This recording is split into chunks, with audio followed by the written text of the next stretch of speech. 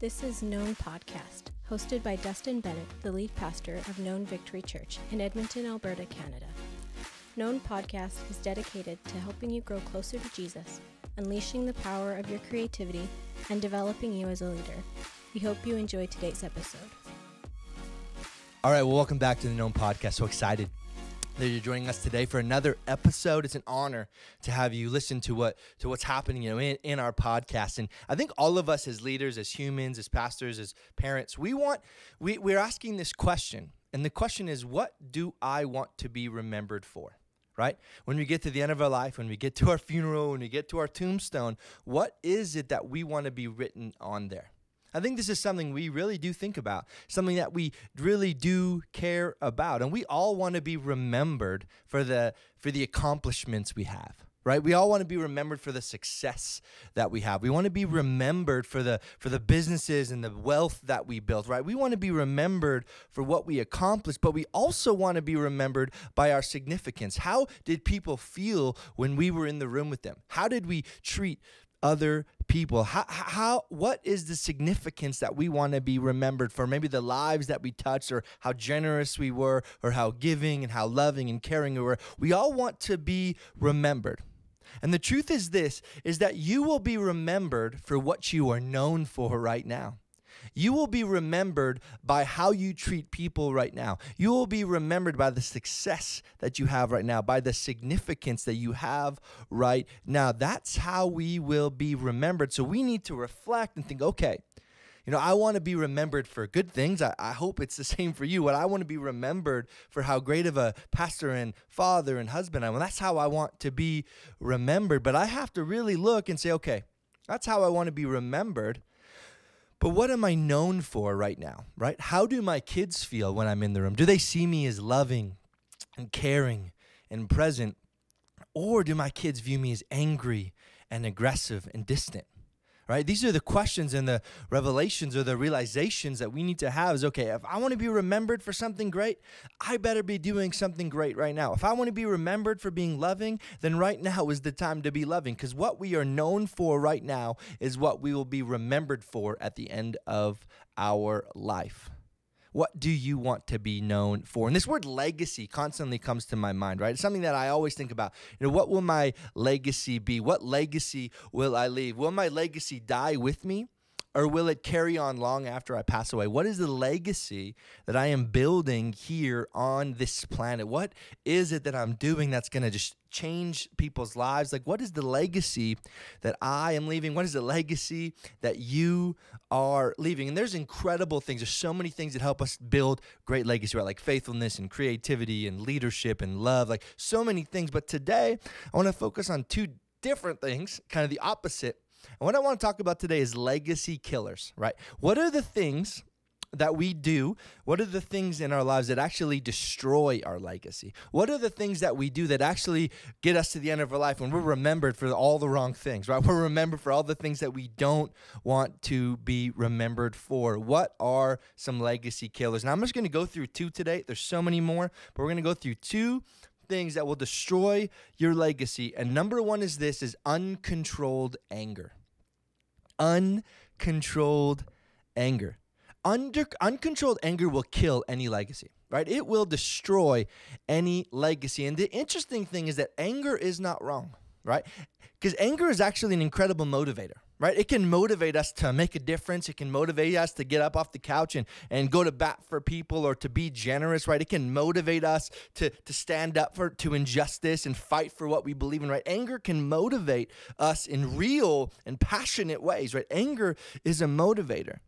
But oftentimes, because reality is this, is that oftentimes what makes us the most angry is what our legacy will be built on, right? So, what makes you angry actually helps you determine okay, what's maybe my calling or what's my purpose? The things that make you the most angry is often what our legacy is built on. And one, one way to realize your purpose, right? One way to realize your calling here on earth is to determine what makes your life, what, what makes you the most angry, and then spend your life loving and serving in that area, loving and serving those people, or creating programs to be able to help those people, whatever it is, right? What makes you the most angry in this world? And for me, there's so many things that make me angry, right? Let's be honest. There's so many things in our world that make me angry, and I'm sure it is the same for you. Do you know what makes me the most angry, though? Is pain and suffering.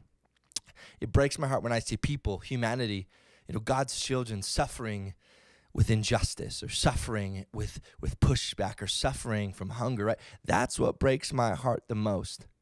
When, when other human beings, when other people mistreat each other. You know, I have a heart for justice. I have a heart for justice. I have a heart for seeing the marginalized find freedom and peace because that's what makes me angry.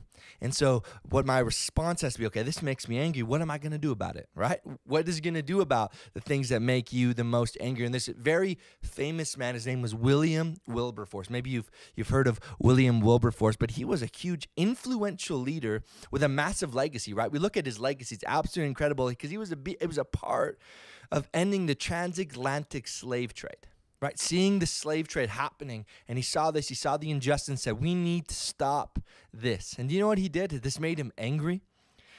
Because he says this, he had, he had heard reports of the horrific treating of black slaves on the slave ships and homes, and it appalled him. It appalled him, and his anger motivated him to a 20 year journey of blood, sweat, and tears to see the abolition of the slave trade end. His anger motivated him not to hurt people, but to heal people. His anger motivated him not to hate people, but to love people, what injustice is making you the most angry? It might be in your home or it might be in your family, it might be in your workplace. What is it that makes you the most anger, the most angry? And then what is it motivating you to do? What does your anger motivate you to do? And you know, I have to be very careful in my own life when it comes to anger. I have to be extremely careful because anger has been a huge part of my story. You know, anger has been a huge part of my story. And I was young. I used to have huge anger problems, right? You know, I remember a moment when I was in kindergarten and I was in the, you know, the bathroom and some kid came and he, he had splashed me with, you know, his water. He just washed his hands, splashed me with the water. So I took him and I, I threw him against the wall you know, because I was angry, right? And I've always had this thing, a part of me where, where anger has been a part of my story. And I have to be extremely careful because my anger can motivate me to either do good things or bad things. And oftentimes, anger motivates us to do bad things. And I used to have this huge anger problem. And, and, and un- unfortunately, in my life, there's just been so many moments where anger led me to hurt people rather than love people. So many moments that I can recall on or reflect on things that happen. And oftentimes, anger, right, it starts so small right? It's just smart starts maybe with a little frustrated because my daughter just spilled her food and I'm trying to clean it up and, and it starts small and then it just escalates, right? As she gets frustrated, as I get frustrated, oftentimes this, this anger kind of comes up. I start getting really, really frustrated and really, really angry, angry. And sometimes I respond to my daughter in the wrong way, maybe by raising my voice, and then it just makes things so much worse. I have to be extremely careful when it comes to uncontrolled anger in my life.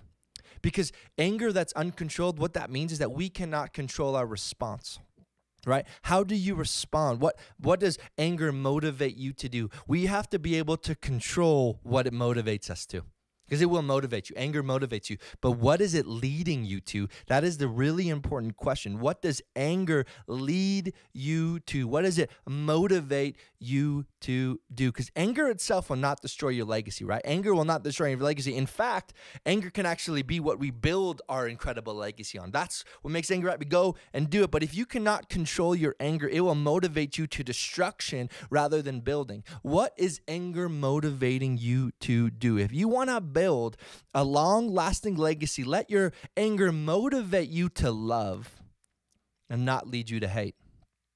We see so many people lose their legacy based on how their anger led them to treat and hate people right? We see so many people how many people that we look up to maybe maybe you as a leader you look up to some of these people and then you see some of the things that they've left in their in their wake because of anger we see this so frequently that people's legacy is so tainted due to the anger and what it motivated them to do. How can we learn to control our anger better? And I have three things that have helped me when it comes to anger in my life. And number one is this is create space. Okay. So I can be very impulsive. All right. So I, I can be very impulsive, right? I got ADHD. So I just like sometimes see something. I'm like, I got to do this. And I go and do it. And so how I respond to anger is often very impulsive and I don't think about it right? I just kind of see it happen and I just respond right away, right? I, I just like, ah, right? And so I have to learn how to create space to actually have time to think. Because I make horrible decisions when I don't think properly. You know, when I'm angry, my mind is not thinking properly. And so I have to create space to learn how to maybe walk away from a situation, maybe walk away for a moment from a conversation, walk away from something just to take time. Okay, I need to breathe. I need to relax. I need to take a moment to, to think, to actually think about what it is that's happening around me. Create space in your in that moment to actually think. I remember one time, you know, we were doing youth again on, on, Wednesday nights, and we were doing youth, and I don't remember something before our our group started. I got super angry, and and I I remember being like, I don't even know what to do, and I went to my wife. I said, Beth, hey, I'm going for a walk you, you you know you get ready for youth. I'm to go for a walk. And so i went out i grabbed the coffee and i just took a moment to breathe. I took a moment to think. I took a moment to have more clarity because oftentimes when my when i'm angry my mind is clouded and i'm not clear in my thinking. And so i took a moment to actually create clarity in my mind to think okay why, why is it that i'm angry and how should i respond to this? Because i would have responded in a very poor way. I don't even remember right? I don't remember what was making me so angry that night. Oftentimes i think it's that things that make us angry are such so small and don't even really have any significance. But but I remember just having a moment to just breathe. And I came back and I was able to make better decisions. I was able to think clearer. I was able to respond in a healthier way. You need to create space when things make you so angry. Do you have a system or a practice or a way to actually create space? Maybe again, it's walking away, or maybe it's you know heading out and doing something else just to get your mind again thinking more clear. So number one, create space. Number two is realize what causes you to be the most angry. Right? What is it in your life that causes you to be the most angry. And there's so many things, right, that can make us be angry. So many things. I just have a few that that that that, that I've experienced in my life, and maybe you have as well. But number one is when when I'm treated unfairly, I can get pretty angry, right? When somebody mistreats me or mistreats somebody that I love, I can get pretty angry about that. And then number two is when I when I feel powerless and I can't do anything about it right? When someone mistreats me and I feel like I can't even do anything about it, that makes me angry. Number three, maybe uh, when we or the people that we love are being threatened, right? When there's somebody that we love that's being threatened, maybe it's at school or at work, whatever, we're like, I'm angry, right? I'm going to protect the people that I love the most. And number, uh, this one is when our character, when your character is attacked or questioned, right? When somebody uh, questions your integrity, or somebody questions my leadership, or someone questions my heart, or someone questions my love, like when that happens, I can get pretty angry. I'm like, do you, do you even know me? Do you know how much I care? Do you know how much I love? That can make me extremely anger, angry. And then the last one is when we realize our failures and missteps right? Oftentimes, our anger actually is created because we didn't respond or we didn't do what we wish we would have. It makes us angry at ourselves for how we responded or the decision that we made or the choice that we made. It can make us extremely angry. What is it that causes you to be the most angry? We need to understand these things. You know, for me, what makes me oftentimes the most angry is when things beyond my control cause a disruption. okay. So when some when I have a plan and I like to be prepared, I like to have a plan. I like to come into something knowing what's going to happen. I know I want to know what the outcome's going to be. I want to know who's going to be there. Like I want to I have all the questions. I know exactly what I want it to look like. And when it doesn't look like I want it to look, it can make me really angry. Right? When a curveball comes in or something changes last minute, I can start to get pretty angry because I'm like, how could you not just give me this information now? Why didn't you give me this information, you know, yesterday or an hour ago or two weeks ago? Why am I just learning about this right now? Now I have to change my whole plan because I didn't know this was going to happen. It can make me extremely, extremely angry. So when something comes up that I can't predict or I can't expect, I feel powerless to change it. I'm like, I don't even know what to do now. So I get angry, which oftentimes makes things worse because my mind gets so cloudy. Clarity disappears and my mind is just so cloudy. I don't even, my mind doesn't even think straight anymore. So, so I forget to think and I forget to talk, and I start responding to things out of anger rather than out of the calm or the preparation that I, I've had before.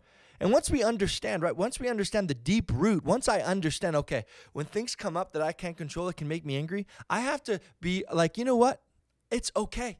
It's okay if I didn't expect this to happen. It's okay if if this out this this came up and I didn't know it was going to come. It's okay, and I need to take a moment, create some space, and say, okay, I'm gonna take a breather, then I'm gonna come back, and we're gonna go through this together. And so, so you have to understand the root of what makes you angry. What is it in a conversation with your spouse that's making you so angry? What is it in a conversation with your children that's making you so angry with your coworkers or with your boss or, or with your with your business partners? What is it that is making you so angry? And once we know that, then we can actually there's okay, what am I gonna let this motivate me to do?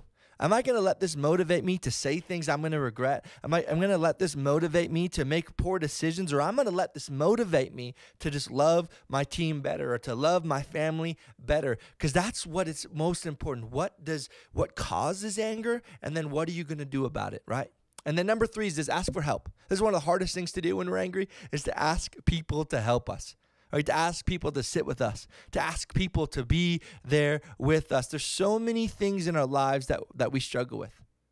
And our pride gets in the way of asking for help, at least for me. I can't speak for you, but for me, pride often gets in the way of asking for help because I think I can do it on my own.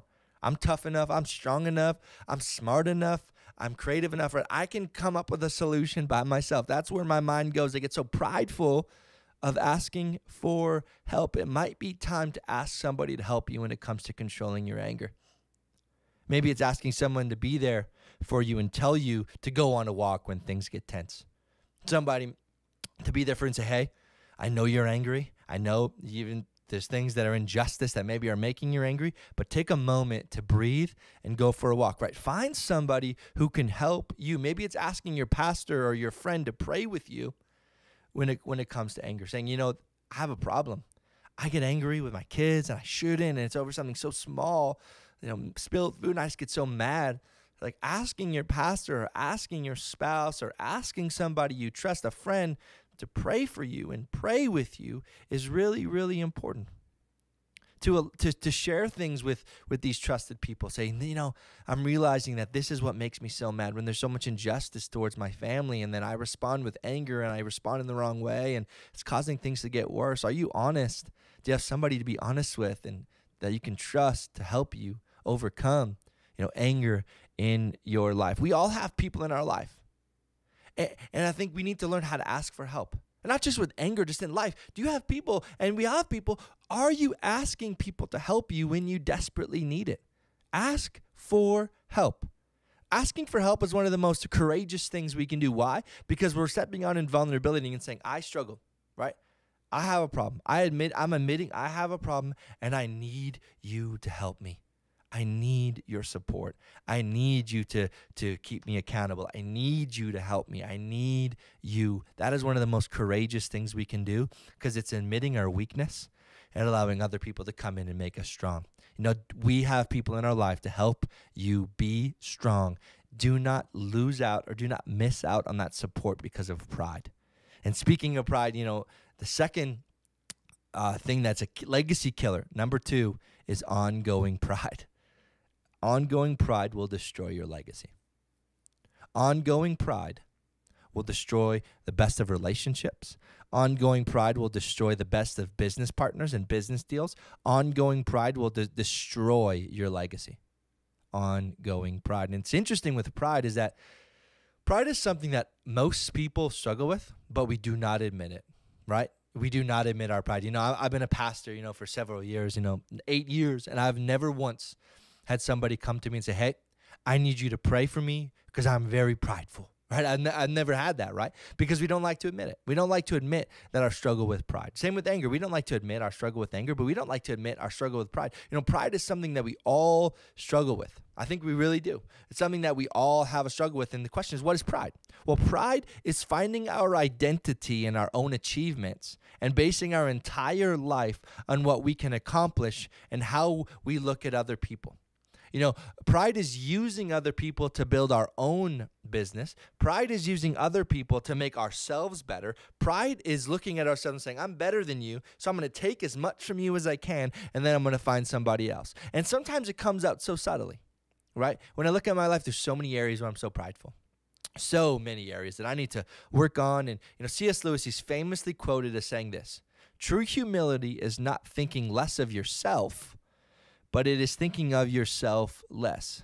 You know, humility or pride might sustain you for a short time, right? You might start building something amazing with pride. You might look at yourself, look what I've accomplished. Look at look at the, the money I have, the wealth I've built. Look at the business I have. Look at the car I have. Look at the house that I've built. Look at look at me, right? Pride is saying, look at me. Look what I've accomplished. And humility is looking and saying, look at you. Look what you've accomplished, right? So we have to make that shift in our mind that the life and leadership and legacy is more about how we build others more than how they build us, right? Ongoing pride will destroy your legacy. It will absolutely destroy your legacy. When you look around you, do you walk around in arrogance or modesty?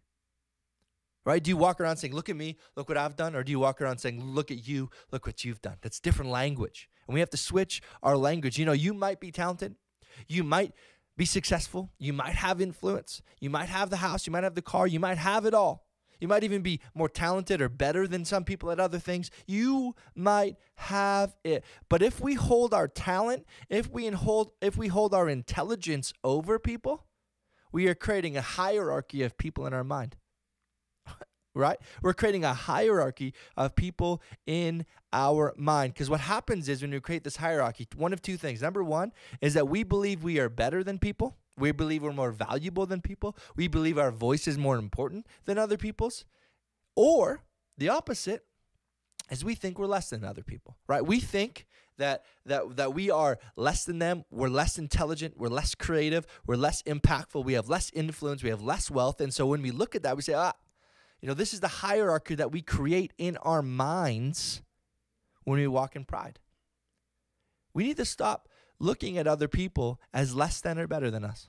We have to stop looking at other people as that their voice or their talent or their intelligence or their creativity is less important than the ones that we have. We need to shift from pride to humility right? We have to switch from pride to humility. You are no better than anyone else. I am no better than you. You are no better than me. We are all sinners. We all fall short of the glory of God. We all are. And so we're all broken people trying to make it, trying to go forward. We are not better than one another.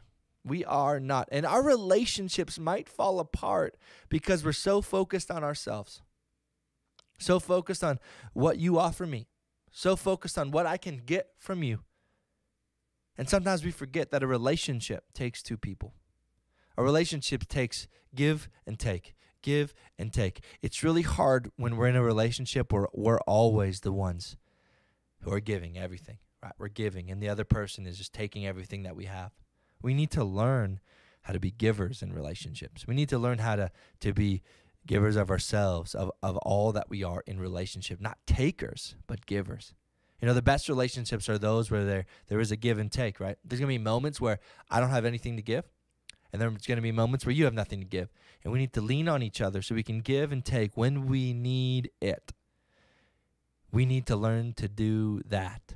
And so I think sometimes our relationships right now we're in overdraft right? Because we have somebody that we've just been taking from, taking from, or somebody that's been taking from us, taking from us. We're starting to get into debt because we can't even build up our our time. We can't build up our resources enough for how much somebody's taking from us. We need to learn how to to to stop living in overdraft overdraft, stop living in debt when it comes to this, but actually living in a space where we're giving to, but we also have to receive. You have to be a receiver. You have to be a taker sometimes as well. You know, humility is learning when you have when you have a need and asking for help. All right, we talked about ask for help in your life. Comparison will destroy you.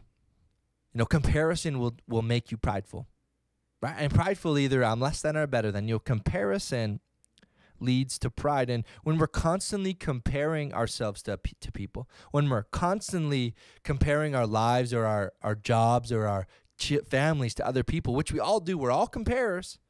We're looking at people uh, in the eyes that they are better than me or that they I'm better than them, right? We we look at people comparison saying, you know, your job, you make less than me, so I'm better than you. You know, th- this is how we view things. Comparison is poison to relationships. We need to learn to celebrate people even if they are getting what we want. Even if they're they got the promotion. Even if they got the healing even if they got the, the spouse, even if they got the house, even if they got the car that we want, we need to start learning to celebrate them rather than compare and say, I wish I had that. I wish that that was my life. No, that's not your life. Live your life. Learn to celebrate people even if they're getting what you want. We need to be celebrators, not comparers. Comparison destroys human connection. It'll destroy your legacy. It causes us to be prideful because we say, Look what I have. What I have is better than you, or what I have is less than you. It doesn't matter what other people have. Use what you have. What you have matters. And how, how, do we become more humble, right? How do we learn to stop comparing? How do we learn to be more humble and not be prideful? What are the things that we can do? And I have three things that'll help us and help me when it comes to pride. And number one is we have to be grateful. One of the best ways to stop comparing and start to walk in humility is to look at what you have and be grateful for it. You need to realize that you are enough and what you have is enough. You are enough. What you have is enough. We have to write down what we are grateful for. You know, I'm pretty visionary in my thinking. I like to think into the future. I like to think about, you know, what's going to happen next. I like to think about, you know, where I'm going to be. I like to set goals. Like I'm, I'm prepared. I like I like to look into the future. But oftentimes, what happens is because I'm so focused on what's going to come, I forget to think about what's happening right now.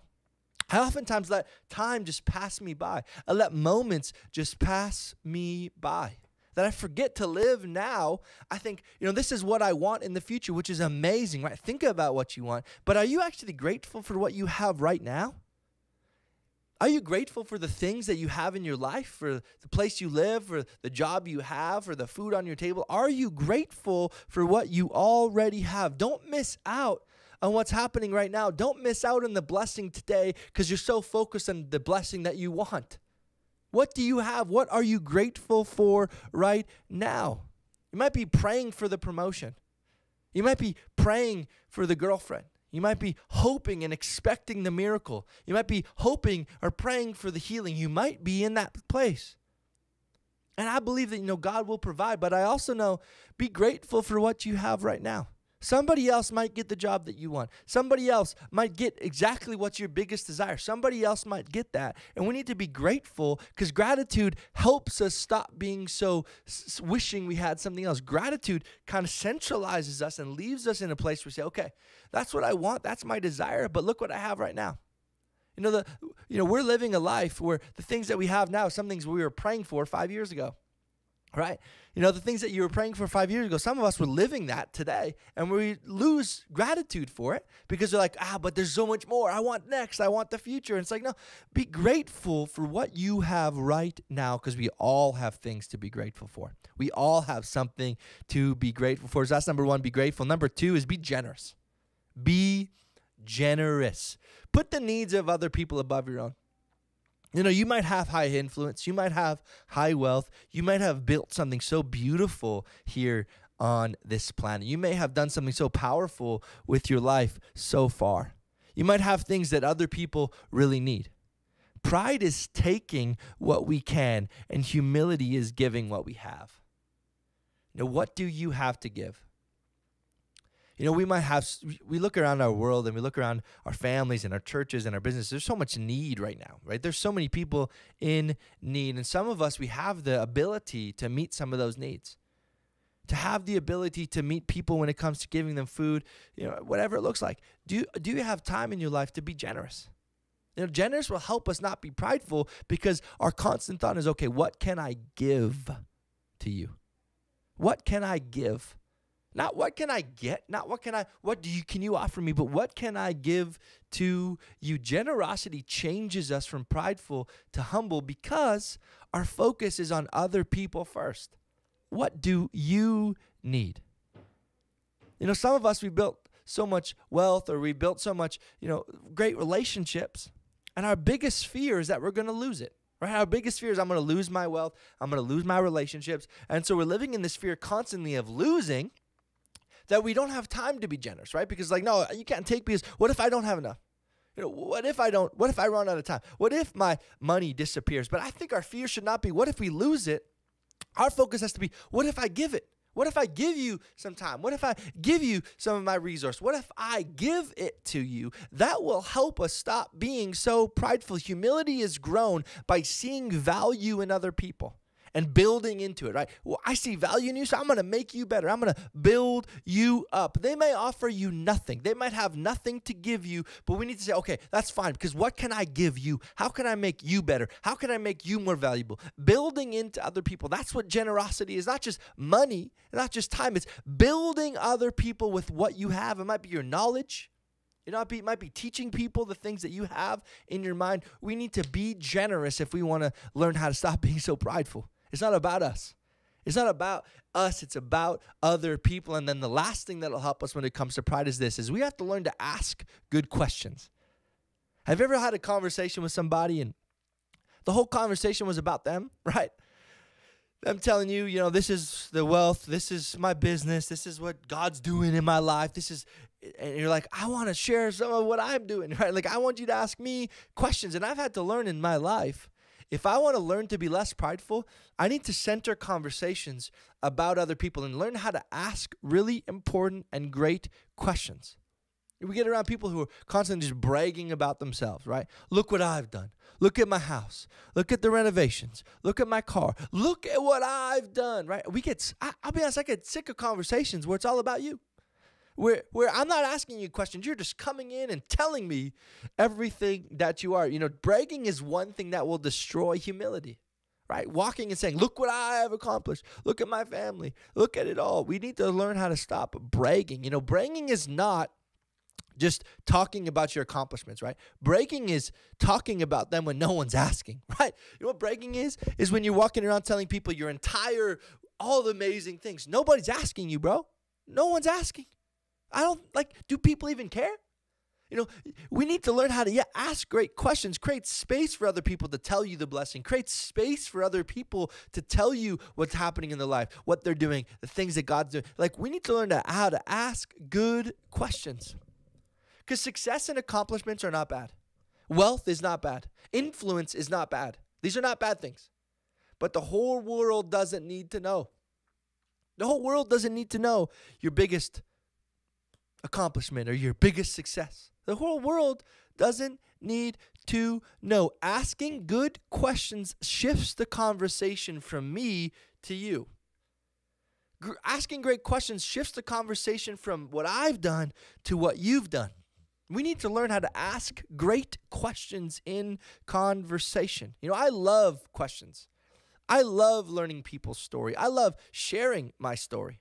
When I'm in a conversation with someone, especially if it's a new person, I like to ask questions about the why the way that they are. Why is it that you do this? I love to understand why you respond like this, why you built this business. I want to know the why. I like to learn about you. I like to learn about your life. I like to, like to learn your habits. I like to learn your hobbies. I like to learn your values. I want to know you. It's not just about what you what your success is. It's about I want to know who you are. I want to know what makes you go, what makes you tick, what keeps you going. That's what I want to know. We have to learn to ask great questions because it shifts the conversations from us to them. Some of us were really good at answers. All right, we got all the answers. But sometimes we need to stop giving the answers and asking great questions. You know, what questions do you ask in the midst of a conversation to shift your focus from you to them? Ask great questions. It is so important important. Your story matters, right? And humble people will approach you and ask you about your story. Humble people will ask you about your story. You know, when we're so good at answers, it actually leads us to almost be ah, as a legacy killer, right? The pride, the ongoing pride is a legacy killer because we're so focused on ourselves that we're not actually adding value or actually having significance or actually bringing life change to other people because it's all about us. We need to stop walking in pride and start walking in humility. It is so important. Humility is caring deeply about people enough to ask questions, enough to sit with them and let them share their story with you, enough to sit with somebody who's struggling and letting them just share the things that they're struggling with, to share the things that they're going through. That's what humility is. Legacy is so important. Legacy is so important, and I think it's something we all think about. And the question that comes to legacy is what do I want to be remembered for?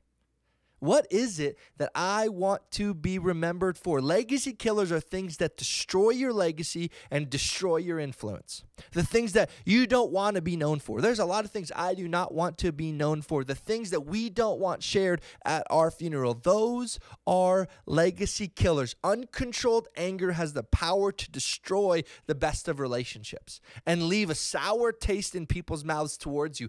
Everything good you can you do can be tarnished in a moment of rage. And ongoing pride is, is thinking so highly of ourselves that we don't have time for the stories and the needs of other people. People won't want to be around us if, if all we think about is ourselves. If all we think about is how can you build me, we're not going to have a lot of relationships, at least good relationships. Pride comes before the fall. Let us build a, leg- a lasting legacy filled with anger that motivates us to love and not hate.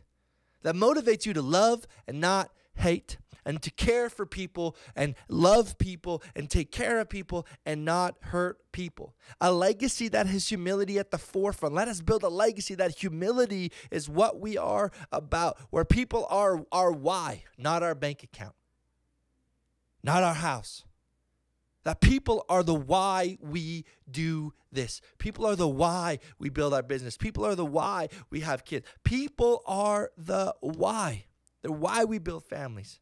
Why we build businesses, why we build churches. Let don't let you be your why, let them be your why. It's not too late it's never too late to change your trajectory. It's not too late to let go of anger. It's not too late to, too late to let go of pride. It's not too late. It's never too late. We can build a lasting legacy, a legacy that doesn't die when I do, when you do, a legacy that doesn't die when we do, but carries on for generations. You can do it, and we can do it together. Thank you for joining us today for the Known Podcast. We have new content coming out every Wednesday, so make sure to come back next week for a new episode. If you haven't yet, make sure to follow us on Instagram at Known Podcast and follow us on your favorite podcast platform. See you next week.